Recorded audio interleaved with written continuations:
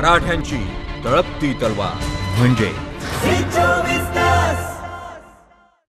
पोहरादेवी येथील गर्दीबाबत प्रशासनानं तात्काळ कारवाई करावी असे निर्देश स्वतः मुख्यमंत्री उद्धव ठाकरे यांनी दिलेले आहेत.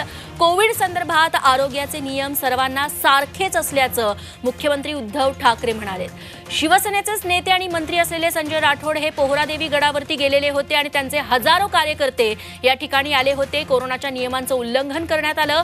या कार्यकर्त्यांनी पोलिसांना देखील जुमानलं नव्हतं. आणि या प्रकरणी आता स्वतः मुख्यमंत्री उद्धव ठाकरे यांनीच योग्य ती कारवाई करण्याचे आणि तात्काळ कारवाई करण्याचे आदेश दिलेले आहेत. तेव्हा या कार्यकर्त्यांसह स्वतः संजय राठोड यांच्या विरोधात कारवाई केली जाते का हे बघणं आता महत्वाचं ठरेल.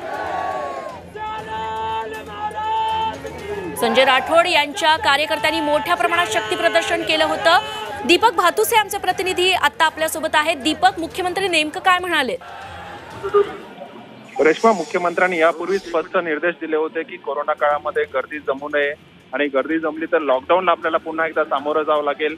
आणि सर्व कार्यक्रम जे आहेत ते राजकीय असतील सामाजिक असतील त्यांच्यावर बंदी घालण्याची घोषणा स्वतः मुख्यमंत्र्यांनी केली होती. त्यामुळे साहजिकच राजकीय पक्षाने विशेषतः सत्ताधारी पक्षांनी हे नियम काटेकोरपणे पाळणं गरजेचं होतं. मात्र आज देवीला आपण बघितलं की संजय राठोड यांनी मोठ्या प्रमाणावर गर्दी जमून शक्ती प्रदर्शन केलं.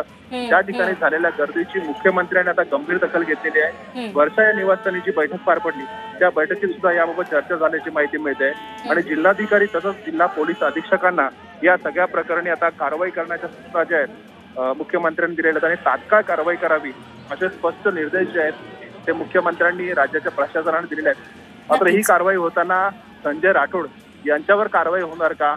हे सगळ्यात महत्वाचं आहे कारण संजय हो. राठोड यांच्यासाठी ती गर्दी जमली होती हो. आता प्रशासनाला जे आदेश दिले ते कार्यकर्त्यांवर तिथे जमलेल्या गर्दीवर कारवाई करण्यासंदर्भात आदेश दिलेले आहेत मात्र या सगळ्या प्रकरणामध्ये ज्यांच्यामुळे ही गर्दी जमली ते मंत्री संजय राठोड यांच्यावर थेट कारवाई होणार का ते रेश्मा पाहावं लागणार आहे निश्चित दीपक त्यासोबतच आता या शक्ती प्रदर्शनाप्रकरणी एक प्रश्न हा आहे की संजय राठोड यांच्यावरती देखील कारवाई होते का?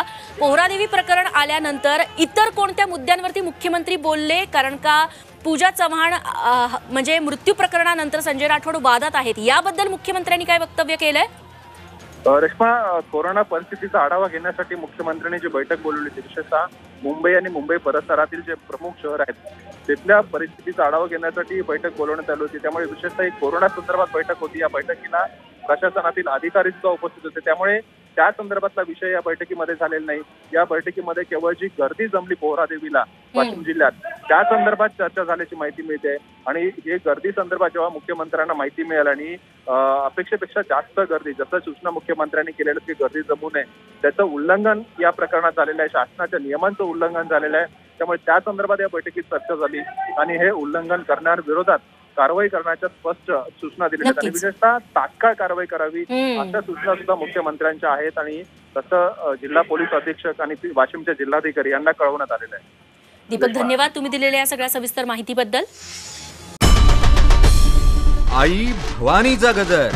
म्हणजे? चोवीस तास.